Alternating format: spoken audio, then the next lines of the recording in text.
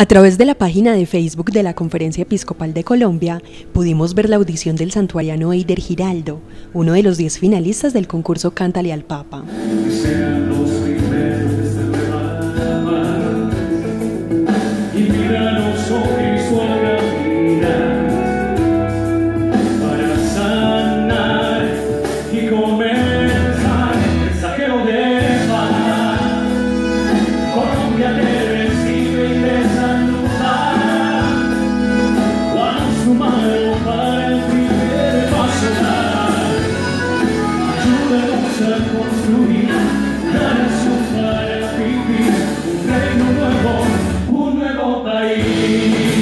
Antes de realizar la presentación, Eider manifestó que se encontraba nervioso, pero con toda la actitud para dar lo mejor de él.